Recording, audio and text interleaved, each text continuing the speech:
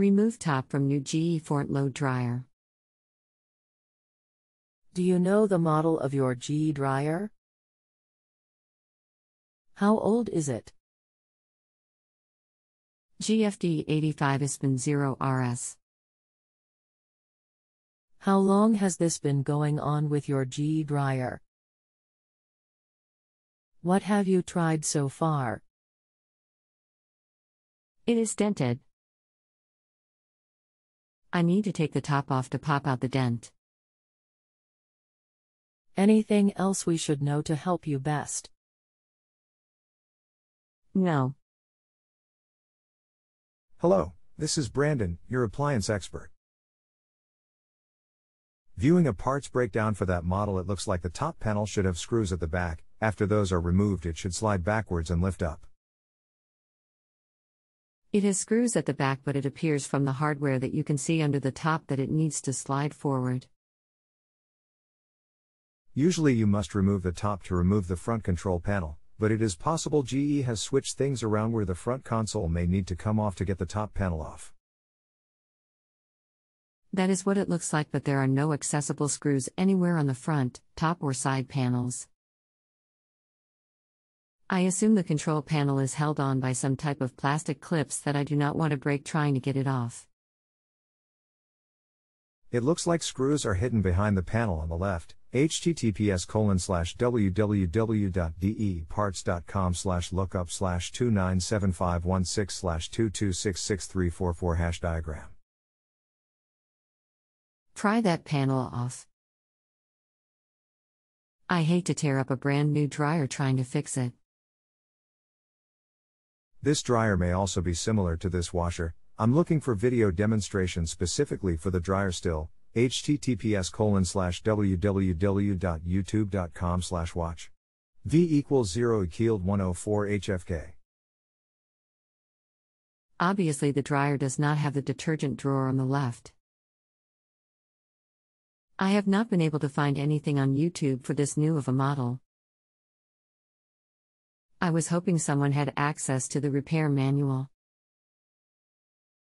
Repair manuals are generally not available except from the manufacturer for their authorized servicers. I thought I knew on this one, but I'm going to opt out because I'm not sure. Another expert might be able to help. Sorry about that. Okay, thanks. Hi. Pull off control knob. Remove screw behind knob. Lift control panel up and unplug. You will now see the screws holding the main top down. Read above post. There is no screw behind the control knob. Just a QR code and a small computer chip. There is. File attached 1S23S41. Sorry. Bad breakdown, I guess. Open door and look if any screws going up into top panel. This is such a new model that there just doesn't seem to be much info out there. I don't know why they had to make it so difficult. Like new cars, they don't want you messing with them. Look at pic I found. Does the cover to the left come off and screws behind it? Nothing. The only exposed screws are on the back. I took them all off and the back panel comes loose except that it is still attached to the top. That's what I am thinking, but trying to figure out how without scratching it or breaking plastic clips. The most suspect spot is this little panel on the left side. Zoom in on the little nickel sized notch to the left of the chrome trim. Seems like the spot. Remove that. And look for screws holding the panel on. In fact, I see now that part is called screw cover.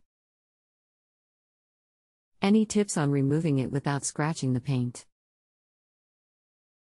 I hate these things. Tiny screwdriver in rag. Why are you taking apart to begin with? The laundry room got painted today and my mother in law slipped and dented the top.